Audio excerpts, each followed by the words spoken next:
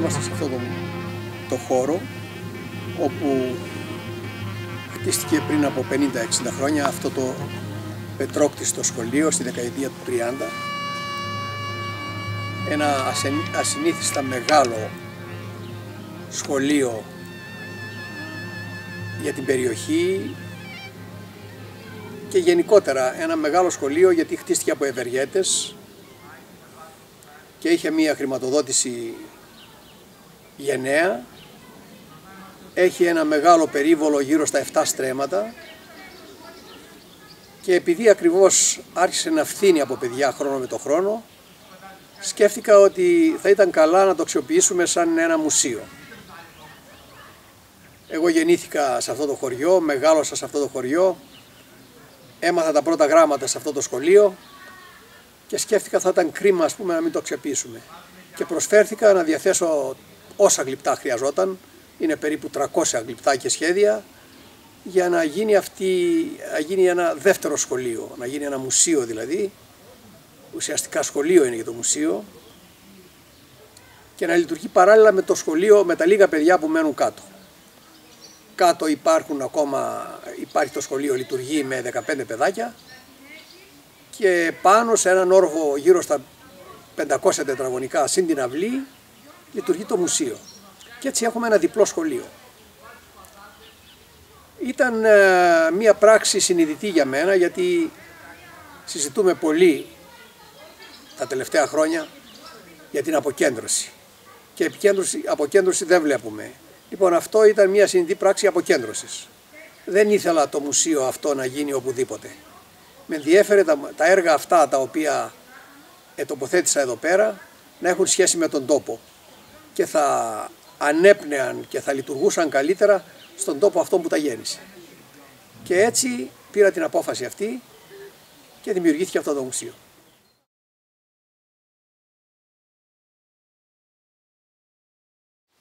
Έχω αναρωτηθεί πολλές φορές ε, για το ρόλο που έχει παίξει αυτό το τοπίο στη διαμόρφωσή μου γενικά και στη διαμόρφωση της γλυπτικής μου.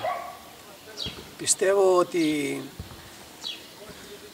αυτό το αδρό τοπίο έπαιξε ρόλο και στην αδρότητα της γλυπτικής μου, στη δωρικότητα αυτή που έχει πολλές φορές, σε αυτό το ε, γωνιακό πράγμα που βγάζει η δουλειά μου, στο εχμηρό πράγμα που βγάζει η δουλειά μου και πιστεύω ότι δεν είναι άσχετο με, την, ε, με το ανάγλυφο αυτό του τοπίου, με τις χαράδρες τις βαθιές, με τον άραχθο, με τα τζουμέρκα που βλέπεις απέναντί σου, με το ε, ανάγλυφο του τοπίου γενικότερα. Πιστεύω παρά το ότι είναι γλυκός τόπος, δεν είναι, είναι ένα χωριό το οποίο είναι σαν αμφιθέατρο, είχε φρούτα, είχε έχει παραγωγή δηλαδή. Δεν ήταν ένα, δεν ήταν κάμπος βέβαια, ήταν ε, σαφώς, είναι βουνίσιος ο τόπος αυτός, αλλά έχει, έχει έναν πλούτο φυτών, ε, πλούτο επίσης ε, λουλουδιών, έχει ε, όλων των ειδών τα δέντρα. Είναι χρόνια που μαζεύαμε δάφνες ας πούμε, ήταν έχει καστανιές, έχει πλατάνια, έχει όλων, όλων των ειδών τα πράγματα τα οποία έχει πεύκα, από τα οποία κάναμε μικρή ε, ξυλόγλυπτα πράγματα και έχει και πέτρα, πολύ πέτρα, από την οποία άρχισα να κάνω γλυπτική.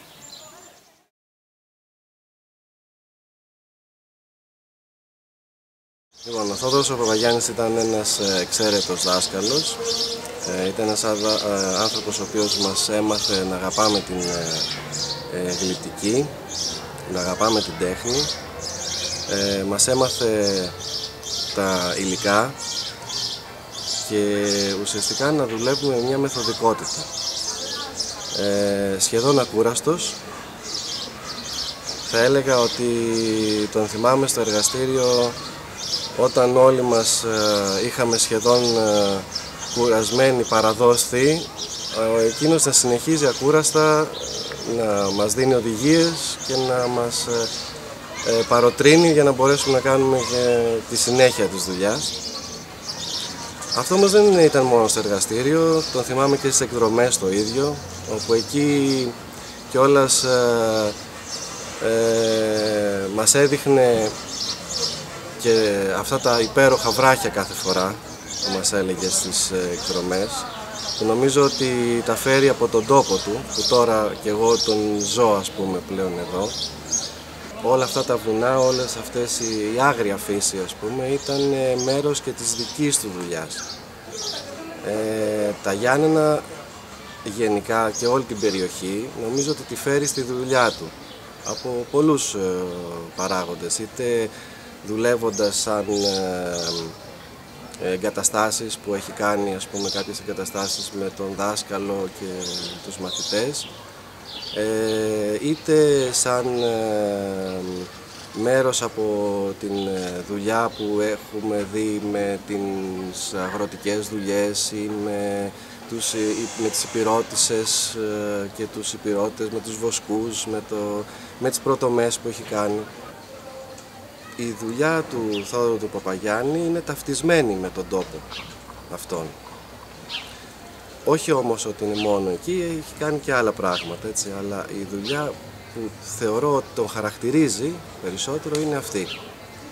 Το γνώρισα σαν δάσκαλο και νομίζω ότι είναι και η ουσία όλης αυτής της ε, φέρουμε ουσιαστικά αυτά που μας έμαθε μέσα μας και ο ίδιος νομίζω ότι ε, λόγω και της πολλών χρόνων που έχει υπηρετήσει ε, στη Σχολή Καλών Τεχνών ε, ένιωθε την αγάπη για τα παιδιά, για τους φοιτητές, για όλους ας πούμε εμάς και προσπαθούσε να μας κάνει να φτάσουμε πολλές φορές και στα όρια μας. Ή και να τα ξεπεράσουμε και θεωρώ ότι ήταν ένα πολύ καλό μάθημα γιατί μας έμαθε τουλάχιστον να δουλεύουμε με μεθοδικότητα και προσπαθώντας ακούραστα όπως εκείνος να συνεχίζουμε παρόλο ίσως τις δυσκολίες που αντιμετωπίζουμε.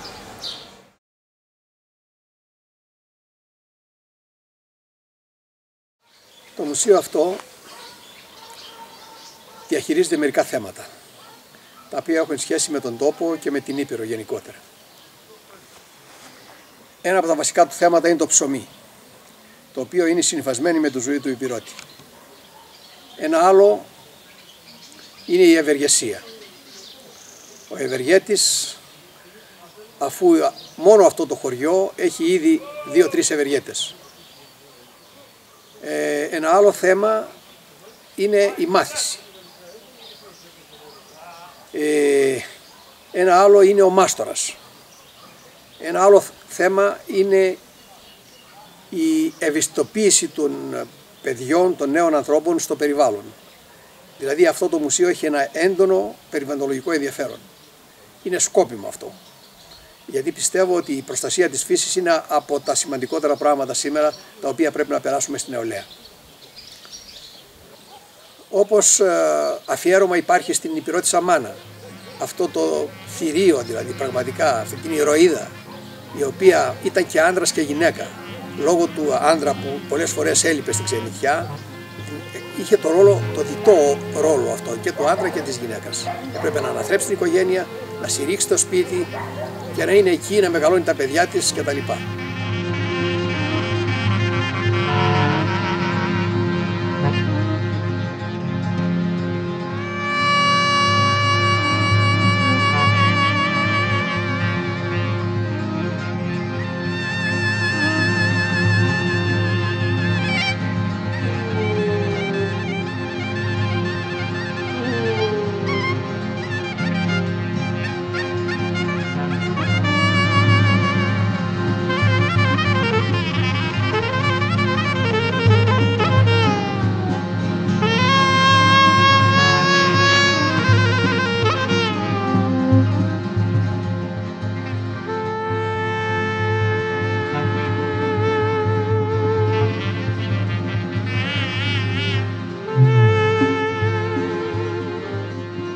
Του με την Ήπειρο συνεχίζεται και με το μουσείο βέβαια που έχει κάνει εδώ στο χωριό του το ελληνικό.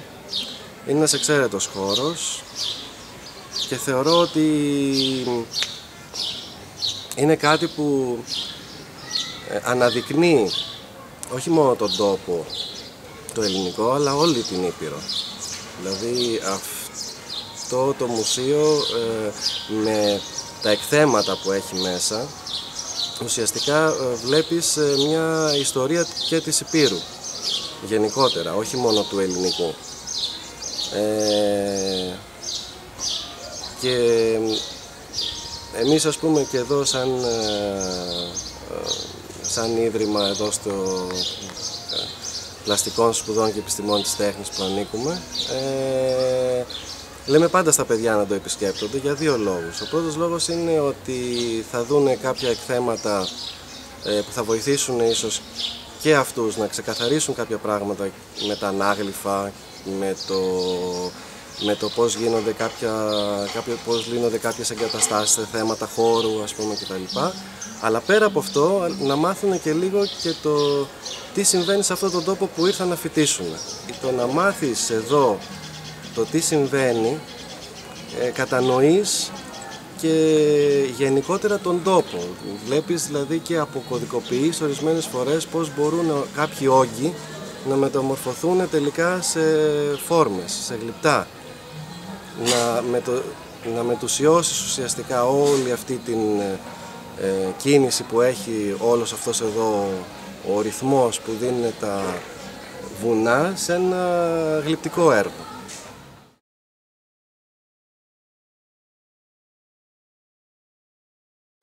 Μουσείο αυτό, ε, δυόμιση-τρία χρόνια κοντά που πλησιάζει, έχει φέρει ανατροπές νομίζω μέσα σε αυτό το χωριό έχει προσθέσει καινούρια ζωή, έχει προσθέσει καινούρια δεδομένα.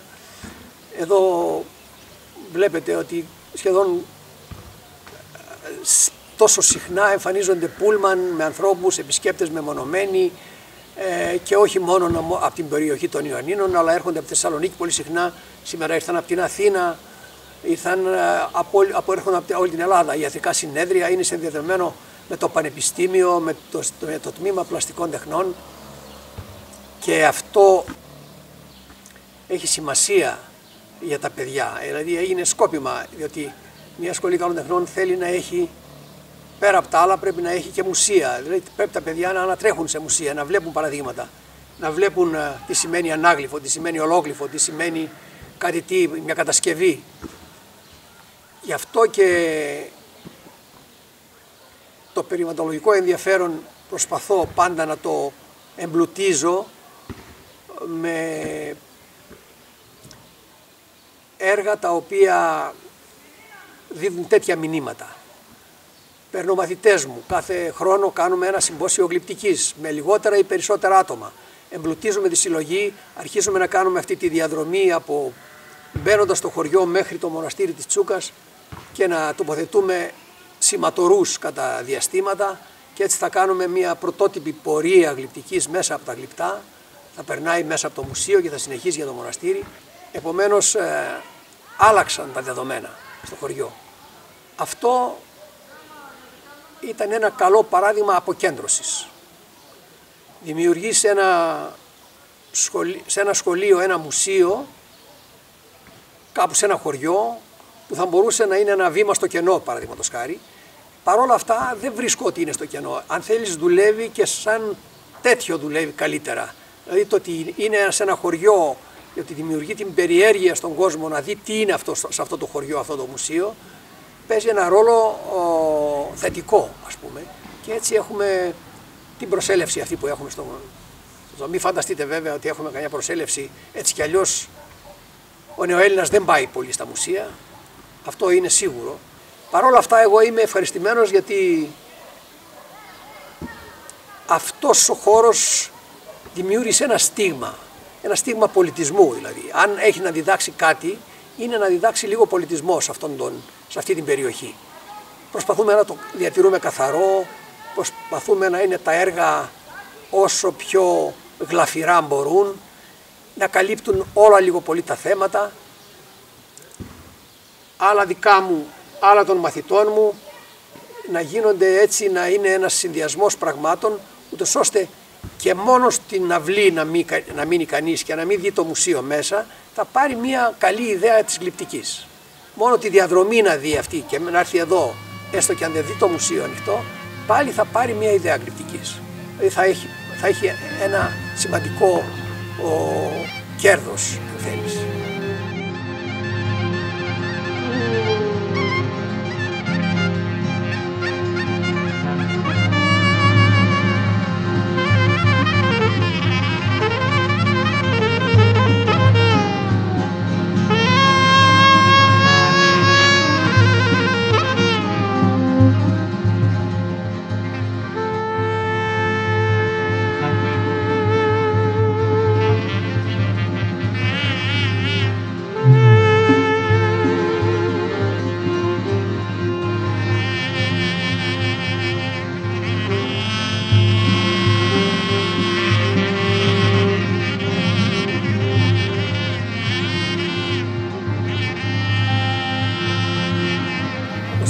Είπα σε αυτό το σχολείο εφήτησα τα πρώτα μαθητικά μου χρόνια.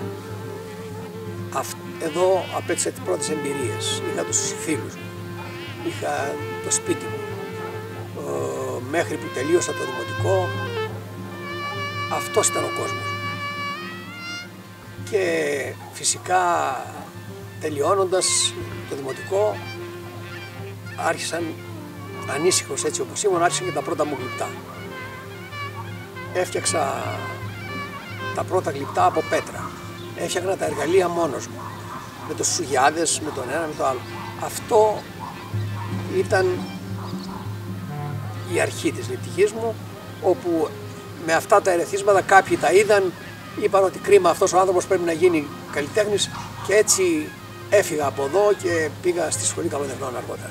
Πήγα στη Σωσιμαία πρώτα, στο Σημαία Σχολή. Εκεί συνάντησα για λίγο το Βρέλι και στη συνέχεια πριν τελειώσω καλά καλά το γυμνάσιο της Ζωσιμαία Σχολή πήγα, πέτυχα στη Σχολή Καλών Τεχνών και συνέχισα νυχτερινό γυμνάσιο εκεί. Για να τελειώσω παράλληλα και τα θεωρητικά μαθήματα. Αυτό ήταν οι μνήμες μου δηλαδή, αυτές οι πρώτες, οι καταγραμμένες, οι έντονες, αυτό είναι που καταγράφεται ουσιαστικά σε αυτά τα πρώτα έργα τα οποία εκθέτω και εδώ μέσα σε αυτόν τον χώρο.